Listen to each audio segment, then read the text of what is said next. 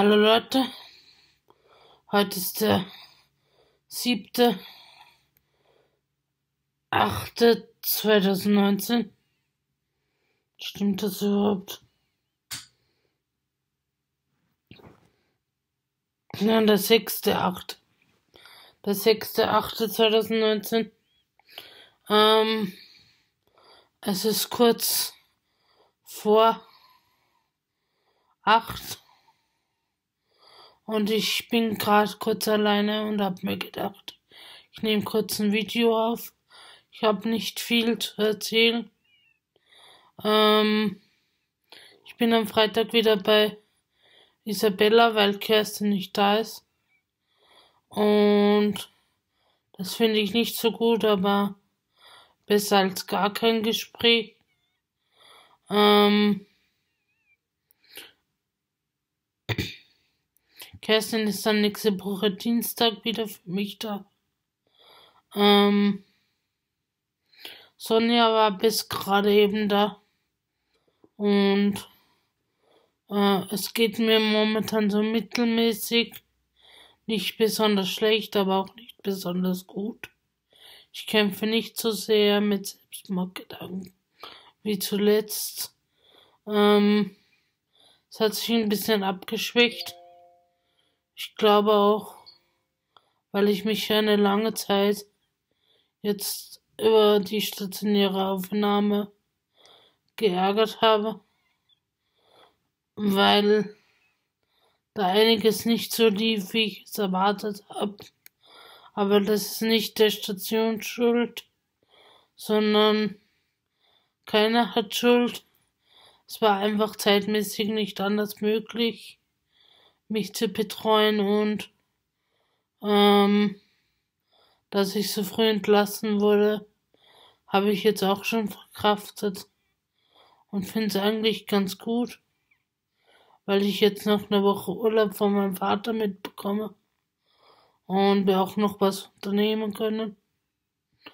Ähm, das war ja am Anfang ganz schlimm für mich.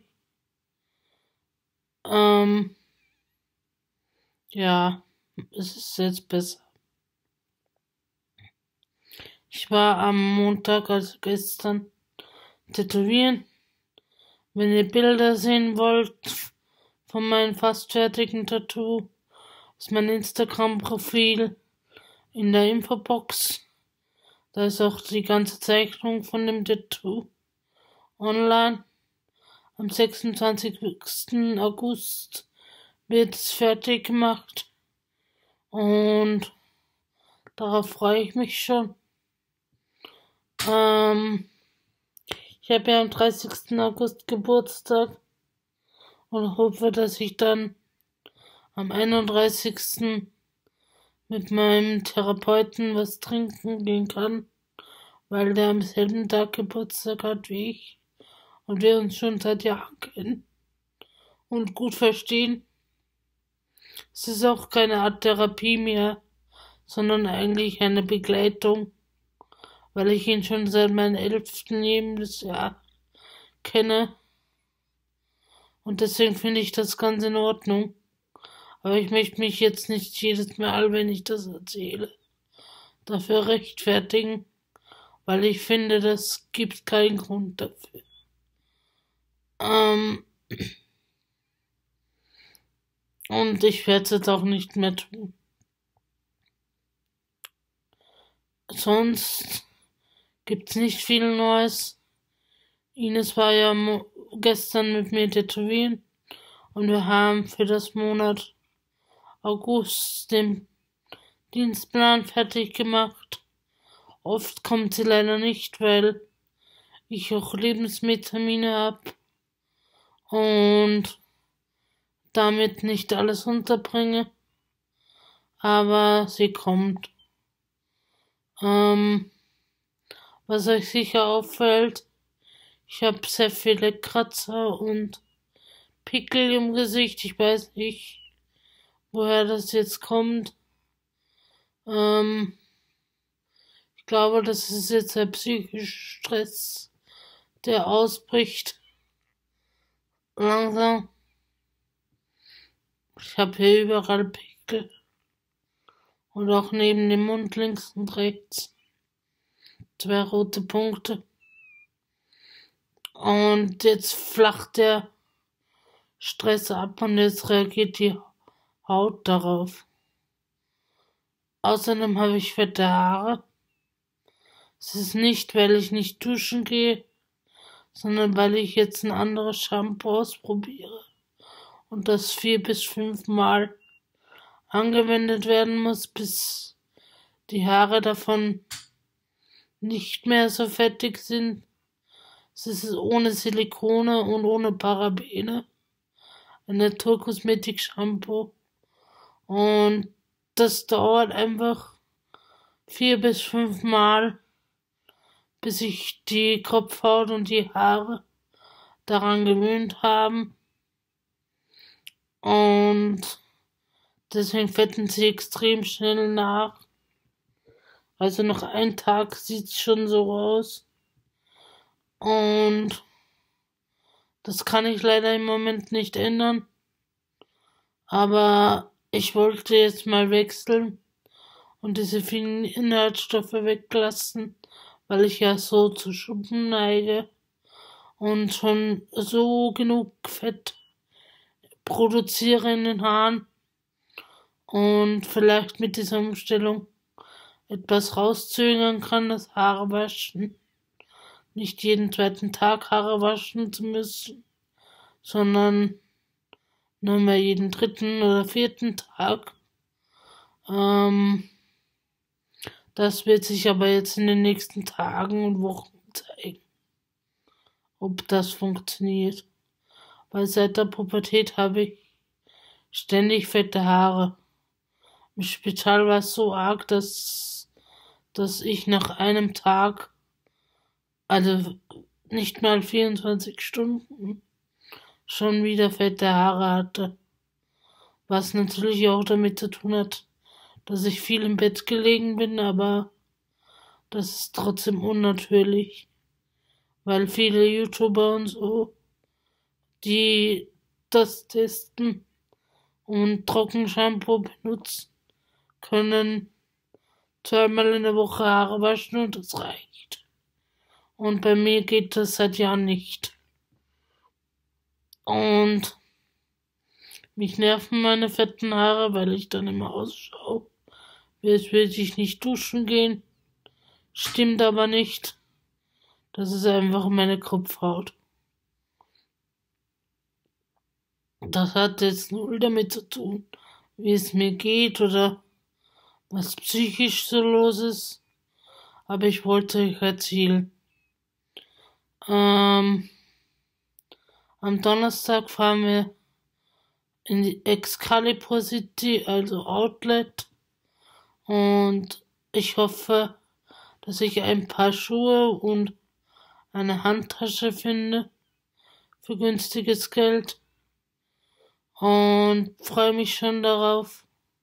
Ich hoffe auch, dass Sonja mitkommen kann, weil Ines hat keine Zeit. Und ich würde gerne eine Assistentin mitnehmen. Ähm, ja, ich freue mich schon darauf. Morgen ist Mittwoch.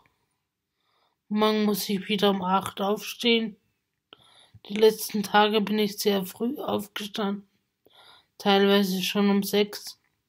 Morgen werde ich dann wieder müde sein und liegen bleiben wollen und muss um acht aufstehen. Aber das ist eh immer so. Ähm, Entschuldigung, dass ich so viel ähm sage, aber es ist ein bisschen kurzfristig das Video und ich muss ein bisschen währenddessen nachdenken, was ich euch erzähle. Ich habe jetzt letztens die E-News gesehen von der Drogerie, von den ganzen Kosmetikmarken und da kommt jetzt einiges, was mich interessieren würde. Irgendwie fehlt mir das Geld, dass ich jetzt Kirtag, ähm, Bahndorf und also Excalibur City und die Kosmetik besorge. Ich möchte mir auch nicht alles kaufen, sondern nur ein paar Teile. Und das ist erst ab Mitte August. Ähm, ich muss mir das halt irgendwie einteilen, weil ich mir im September ein neues Handy kaufen will. Und da ist es ja auch nicht mehr lange. Ja. Die Tätowierung habe ich 300 Euro gezahlt. 250 sind noch offen. Die hätte ich gleich gerne gezahlt, aber sie wollte sie nicht gleich haben. Also habe ich mal 300 Euro Anzahlung dort gelassen. Stört mich etwas, aber kann ich nicht ändern. Wenn sie es nicht auf einmal haben will, dann akzeptiere ich das und ja. Ich muss mir halt jetzt 250 Euro aufheben und wieder zur Bank gehen. Und das ist ein bisschen anstrengend, aber ja.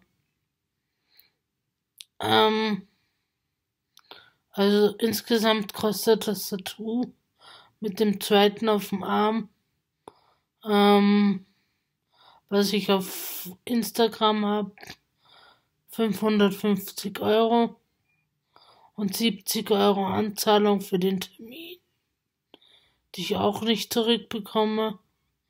Also ganz schön viel Geld für zwei Tattoos. Aber das ist es mir auch wert. Sie sind wunderschön gezeichnet und das, was sich jetzt auf meinem Arm befindet, ich kann euch das über den Laptop schlecht zeigen. Ist schon wunderschön und ist noch nicht fertig. Aber es wird. Ähm, ich rede schon wieder zwölf Minuten lang. Ich möchte jetzt noch sagen, danke, dass ich zwei Freunde oder Bekannte jetzt, die meine YouTube-Videos verfolgen, ähm, bei mir auf Facebook gemeldet haben. Davon ist eine in der Klinik. Ich möchte hier keine Namen nennen, weil ich nicht weiß, ob sie veröffentlicht werden wollen. Und ich freue mich sehr, wenn ihr euch meldet. Ich höre euch jederzeit zu.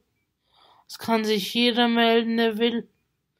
Und ähm, es zeigt mir, dass meine Videos doch geguckt werden und dass ich teilweise damit helfen kann.